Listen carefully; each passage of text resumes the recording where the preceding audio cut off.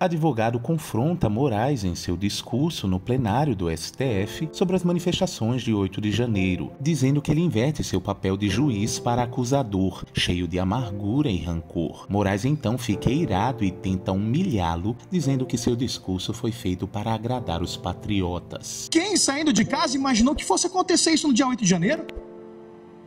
Não se poderia imaginar a que, a que rumo tomariam as situações do 8 de janeiro, que todos nós, mais uma vez repito, somos totalmente contrários.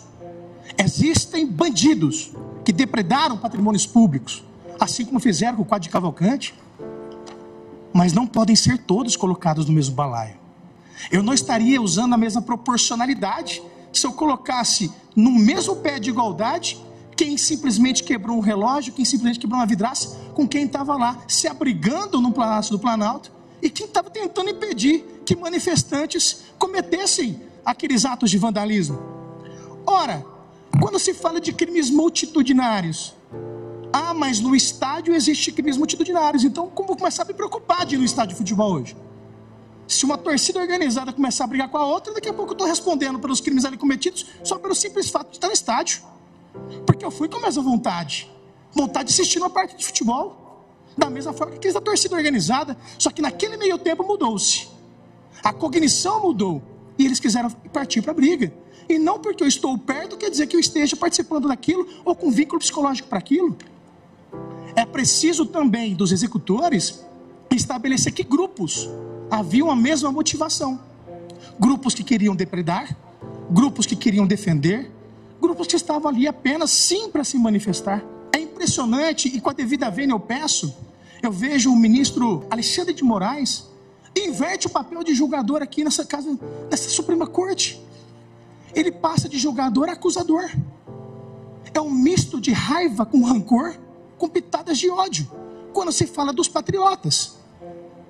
Patriotas que na concepção maior, e basta dar no Google para isso, são aqueles que amam o seu país. São aqueles que amam a nação. São aqueles que lutam por um país melhor são aqueles que defendem a bandeira verde e amarela, porque ela não será vermelha. São aqueles que querem um país melhor, um país livre de corrupção, um país livre de desvio de dinheiro. E olha que dicotomia do direito, que paradoxo.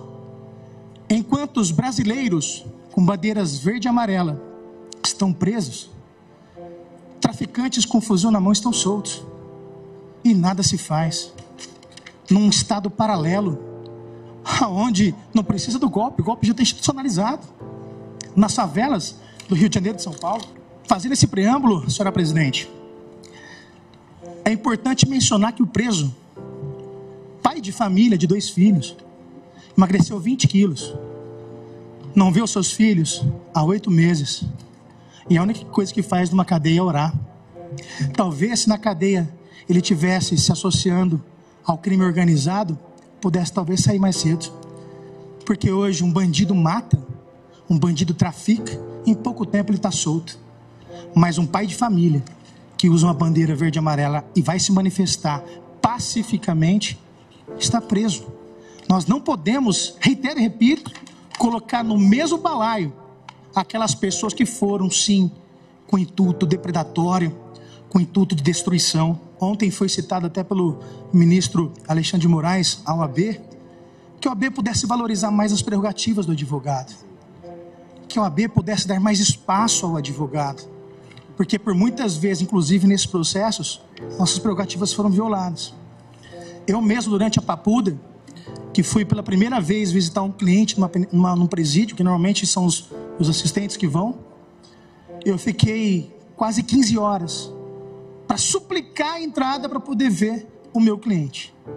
Passando com água e bolachinha. Acho que a maioria dos advogados que aqui acompanharam sabem do que eu estou falando. E a cena que vi lá, excelência, me relembrou muito o Holocausto.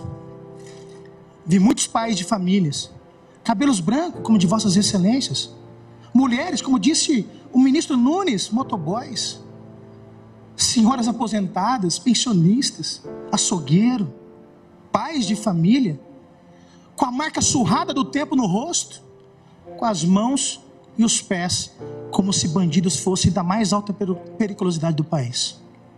Aquilo me chocou de uma forma tão veemente que eu saí de Votuporanga, quase mil quilômetros, às minhas expensas, para vir fazer na capital do Brasil a sustentação oral, com o coração e com a alma, e na esperança de que pudesse fazer alguma diferença. Quando vejo os julgamentos, e me permita com a devida vênia, senhora presidente, parece que eu estou diante de uma inquisição, onde os quatro réus já estão ali colocados, com as cordas nos pescoços, só esperando o trabalho do advogado que vai vir falar por alguns minutos e simplesmente puxar a corda e levá-los à morte.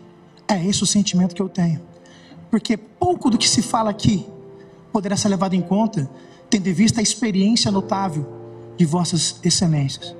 Mas mesmo assim, fez a questão de vir aqui para tentar trazer um pouquinho do sentimento que também baila nas ruas, do sentimento que nós verificamos na ponta do processo, que para vossas excelências é apenas um papel, Fux, é um papel digital, mas para muitos é a vida. Quando eu ouço o subprocurador mensurar 100 milhões de dano moral, eu penso que uma prisão perpétua mental. Quem conseguiria, durante o seu restinho de vida que lhe resta, poder pagar esse montante voluptuoso? Ainda bem que reduziram os danos próximos aos danos materiais. Então isso surge um sentimento, excelência, de que estamos lutando boxe de mãos amarradas. É como a advocacia muitas vezes se sente, aviltada em suas prerrogativas, e que muito pouco, muito pouco consegue trazer a vossas excelências.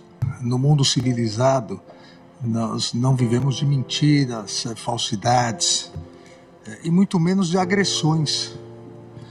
Presidente, é patético e medíocre.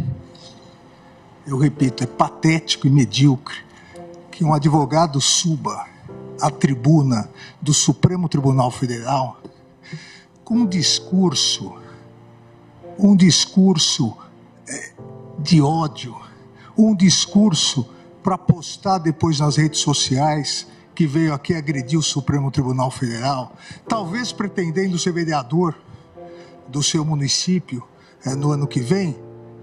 E eu digo com tristeza, presidente, que o constituído, o réu, o réu aguarda que o seu advogado venha aqui, venha defender tecnicamente, venha analisar tipo por tipo. O advogado ignorou a defesa. O advogado não analisou nada, absolutamente nada. Não analisou associação criminosa, não analisou dano, não analisou nada porque o advogado preparou um discursinho, um discursinho para postar em redes sociais. Isso é muito triste. É, os alunos que aqui se encontram, os alunos do curso de Direito da Universidade de Rio Verde, de Goiás, hoje tiveram uma aula do que não deve ser feito na tribuna da Suprema Corte do país. É, hoje tiveram uma aula do que um advogado constituído não deve fazer para prejudicar o seu constituinte. Ou seja, esquecer o processo e querer fazer uma média com os patriotas. É realmente é muito triste isso que ocorreu hoje aqui, presidente é, primeiro com ofensas diretas a mim, depois ofendendo o ministro Luiz Roberto Barroso, na verdade, mais do que ofendendo pessoalmente, ofendendo institucionalmente o Supremo Tribunal Federal e ofendendo institucionalmente a própria justiça. Então é um momento triste e, infelizmente, para o advogado, um momento triste que vai ficar na história é, e nos anais é, do Supremo Tribunal Federal.